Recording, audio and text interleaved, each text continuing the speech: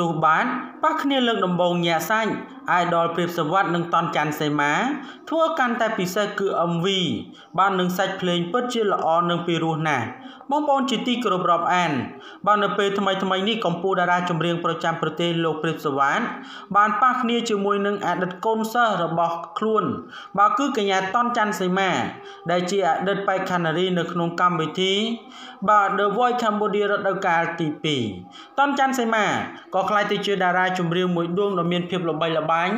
របស់ផលិតកម្មកាឡាស៊ីទោះបីជានាងមិនទទួលបាននៅក្នុង ការជោគជ័យបាននៅក្នុងពេលប្រឡង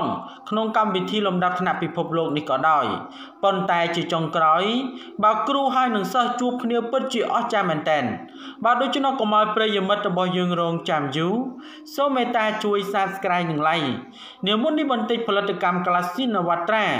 បានបញ្ចេញបទចម្រៀងថ្មីដំបូងគេបង្អស់ដែលច្រៀងរួមគ្នាដោយកម្ពុជាតារាចម្រៀងលោកព្រាបសវណ្ណបាទជាមួយនឹងកញ្ញាតនច័ន្ទសីមា បទចម្រៀងមួយបទនេះមានចំណងជើងថា កាត់ឆុង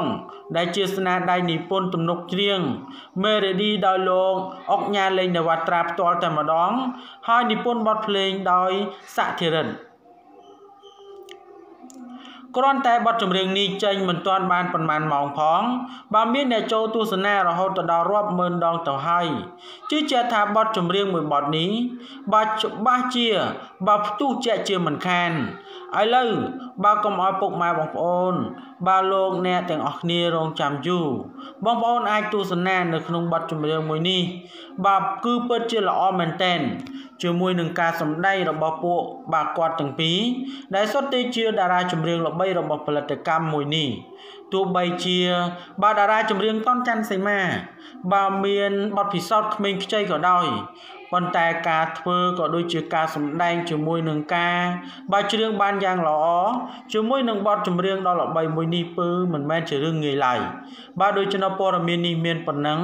ដើម្បីទទួលបាននូវព័ត៌មានថ្មីៗបន្ថែមទៀតសូម Subscribe និង Like